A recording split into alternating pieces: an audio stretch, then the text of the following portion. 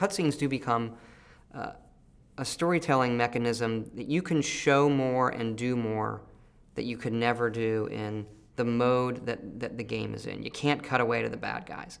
Um, and also, a lot of times you don't want to give, you know, you want to tighten that up. And this is the part where you're telling the story, and you don't want to give the player control.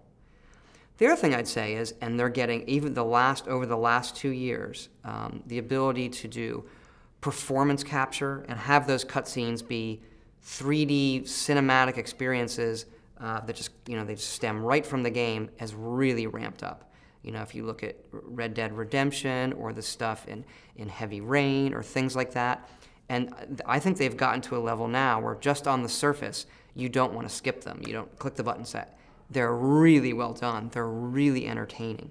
The level of writing and stuff, and sometimes it is it's very nice downtime. This can be kind of mentally, emotionally, phys sometimes physically taxing to be doing these fights or that things, and then you just want to say, "Look, we're going to show you a scene."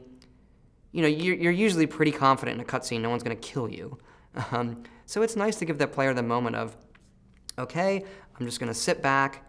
And if it's really well done, you look at like a, an old Blizzard game, like StarCraft, like, I hope this is the level with one of those amazing cutscenes afterwards, where it's so well done, it's not just a storytelling device, it's a reward.